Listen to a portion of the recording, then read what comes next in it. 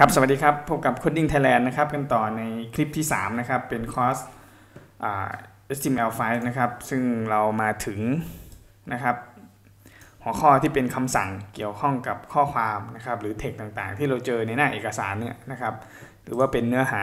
ข้อความต่างๆ ที่ปรากฏอยู่ในหน้าเพจนะครับ โอเคนะครับผมก็จะเปิดตัว editor ขึ้นมานะครับ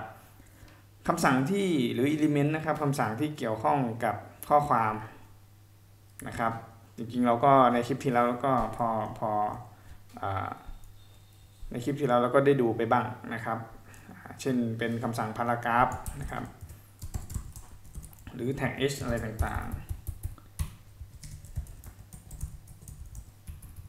แบบนี้นะครับอาจจะมีคำสั่งเป็น paragraph นะครับ ก็คือ tag p อ่าอา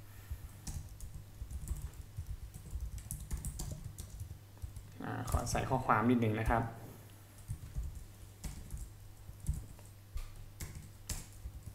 แบบนี้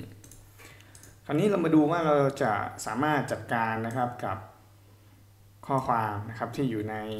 พารากราฟหรือเป็นข้อความที่เราอยากแสดงนะครับไปที่หน้าของ user นะครับไปที่ตัวเบราว์เซอร์นะครับเช่นตัวนี้ผมก็ลองใส่ตัว tag นะครับ h1 เข้ามาใช่ไหมครับแล้วก็มีตัวเนื้อหาข่าวครับโอเคผมอาจจะขอก๊อปมาอีกอันนึงนะครับขอก๊อปมาสักหน่อย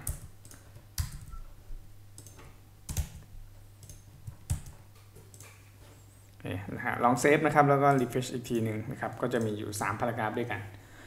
มาดูนะครับคำสั่งที่1นะครับก็คือเวลาที่เราอยากที่จะเน้นนะครับเนื้อหาที่มีความสำคัญนะครับ อ่าก็คือเนื้อหาอะไรที่มันมีความสำคัญนะครับเราก็อาจจะเน้นด้วยโดยใช้คำสั่ง strong นะครับถ้าพูดอีกแง่หนึ่งก็คือจะเป็นตัวหนานั่นเองนะครับแต่จริงๆเราก็อาจจะใช้ตัว CSS นะครับกำหนดให้เป็นตัวหนาก็ได้ แต่ว่านะครับถ้าในตัว HTML5 จริงๆเนี่ยนะครับที่มันจะนิยามตรงนี้ก็คือว่า ถ้าเราครอบนะครับตัวคำสั่ง strong ตรงนี้นะครับไว้ก็คือจะเป็นเนื้อหาที่มีความสำคัญนั่นเอง เช่นผมอยากให้เนื้อหาครับตรงนี้นะครับคำว่าเนื้อหาข่าวที่1เนี่ยนะครับเป็นตัวหนานะครับแล้วก็มีความสำคัญขึ้นมาอะไรอย่างเงี้ยผมก็ครอบนะครับคำสั่งตัว strong เข้าไปนะครับก็คือเปิดด้วย tag strong นะครับแล้วก็ปิดนะครับ ด้วย strong อีกทีหนึ่งแค่นี้เอง แบบนี้นะครับ strong ตรงนี้ก็สามารถที่ซ้อนกันได้หลายอันได้นะครับไม่ได้ผิดอะไรนะฮะโอเค refresh นะครับ เราก็จะสังเกตเห็นนะครับ ข้อความที่ถูก strong นะครับ แท็กเปิดกับแท็กปิด strong ตรงนี้ครอบอยู่ก็จะเป็นตัวหนาขึ้นมานะครับโอเคนะครับบางคนอาจจะใช้แท็ก B ก็ได้นะฮะแต่แท็ก B ก็ผมว่าแนะนำให้ใช้ strong จะดีกว่านะครับ เพราะในความหมายของตัว HTML5 เนี่ย มันจะค่อนข้างชัดเจนกว่านะตัวที่2นะครับจะเป็นตัวเอียงนะครับ ถ้าเราอยากทำอยากทำให้นะครับตัวอักษรมันเอียงนะครับ เราก็ใช้ตัวอิตาลิกหรือตัวคำสั่ง i นะครับ เข้ามาช่วยนะแต่จริง i นะครับในนิยามของ HTML5 เนี่ยก็คือจริงๆมันนิยามว่ามันเป็นข้อความที่ เป็นถ้าเป็นตัวเองก็คือเป็นข้อความที่มีน้ำเสียง หรือว่ามีอารมณ์ที่แตกต่าง ไปจากข้อความอื่นๆนะครับ ก็คือเป็นข้อความที่มีน้ำเสียงหรือว่าอาจจะ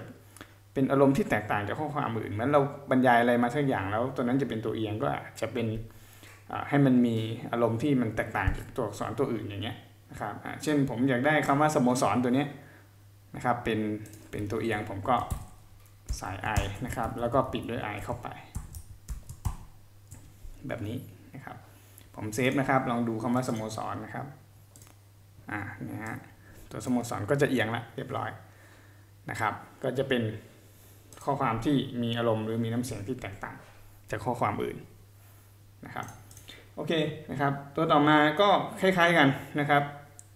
กับตัว i ก็คือมันก็เป็นการเน้นเหมือนกัน แต่เป็นการเน้นที่ไม่ค่อยทางการมากนะครับ ก็คือคำสั่งตัว m นะครับ emphasis ก็คือเปิด m แล้วก็ปิดด้วย m นะครับผมขอทดลองอสมมติคำว่าฟุตบอลตัวนี้แล้วกันนะครับแต่ตัวนี้มันก็จะเน้นนะครับต่างจากไอนิดหน่อยคือ ก็เป็นการเน้นคำนะเป็นการเน้นจริงๆ มันก็เป็นการเน้นที่ไม่ค่อยเป็นทางการมากนะครับเอาไปใช้พวกนี้นะกับคำต่างๆที่อยู่ในตัวพารากราฟนะครับอ่านะฮะ นะคือจุดประสงค์มันก็จะต่างกันอยู่ แต่จริงๆก็ส่วนใหญ่เราก็จะใช้ i กันนะครับโอเคนะฮะโอเคครับ ตัวถัดมานะครับผมขอเพิ่ม หัวข้อข่าวอีกอันนึงแล้วกันนะครับขอเพิ่มพารากราฟอีกสักอัน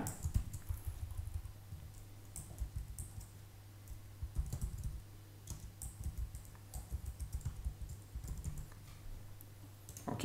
นะครับตัวต่อมาก็คือเป็นคำสั่ง small ครับ small ก็คือตามชื่อเลยนะครับ ก็คือเป็นเราจะใช้ small เนี่ย ก็คือเป็นฟอนต์ที่มีตัวอักษรขนาดเล็กใช่ไหมครับ ก็คือ small ก็คือถ้าเห็นตรงนี้ตัวอักษรก็น่าจะเล็กกว่าคนอื่นนะครับ ถ้าถ้ามาเจอตรงนี้จริงเราก็ใช้ จริงมันจะมี big ด้วยแต่ big นี่ถูกยกเลิกไปแล้วนะครับก็คือมี big กับ small เพราะฉะนั้นเราก็ใช้ได้ small small ก็ใช้ได้ถูกที่นะส่วนใหญ่ small ก็ไม่ใช่ว่ามาใช้เป็นตัวเล็กพร่ำเพรื่อนะฮะก็คือเราต้องใช้ในส่วนท้ายนะ footer หรือว่าพวกลิขสิทธิ์ต่างๆ หรือว่าข้อกำหนดเงื่อนไขต่างๆนะครับแต่ในที่ผมจะลองเขียนตัว small ให้ดูแล้วกันนะครับเขียนตัว small ให้ดูแต่อันนี้ใช้ไม่ถูกที่เท่าไหร่นะฮะแต่จริงอาจจะมีตัวฟุตเตอร์ด้านล่างนะครับใช้ แบบนี้นะครับโอเคนะครับผมก็ refresh ครับก็สังเกตว่าคำว่าวันจันนี้ก็จะเล็กลงมากว่าตัวอักษรปกตินะครับย้ำอีกครั้งนะก็ใช้ในส่วนพวก footer ต่างๆนะครับข้อความที่อยู่ใน footer หรือพวกลิขสิทธิ์อะไรก็ว่าไปนะครับอันนี้ผมเอามาใช้ตรงนี้ให้ดูเฉยๆนะครับอื่นๆก็จะมีเช่นมี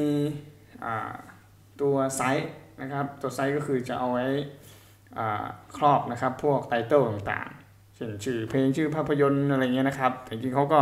ห้ามใช้เป็นพวกชื่อบุคคลอะไรเงี้ยนะครับเพราะว่าเราก็เช่นเป็นพวกชื่อเพลง title ต่างๆนะครับเช่น title ภาพยนตร์เราอาจจะครอบตัว cite เข้าไปได้นะครับตัว cite ก็จะเป็นประมาณนี้นะครับโอเคผมใส่ p เข้าไปนิดหน่อย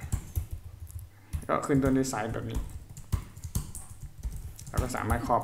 นิยามตรงนี้ได้ นะครับ เช่นเป็นเป็นภาพยนตร์นะครับ เป็นหัวข้ออะไรเงี้ยนะครับ ภาพยนตร์อะไรต่างๆก็ว่าไปนะครับบางอันก็ไม่ค่อยได้ใช้นะ แต่ให้เรารู้ไว้นะครับตัวต่อมานะครับ ก็จะเป็นตัว subscript ครับก็คือเป็นตัวห้อยนะครับ ก็คือจะใช้คำสั่ง sub sub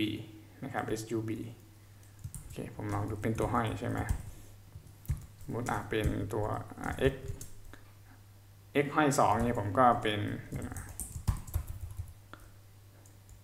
สมมติผม x 2นี้ใช่ไหมถ้าผมอยากให้ตัวเลข2นี่มันห้อยลงมา ผมก็ใช้สับนะครับ ก็เปิดสับ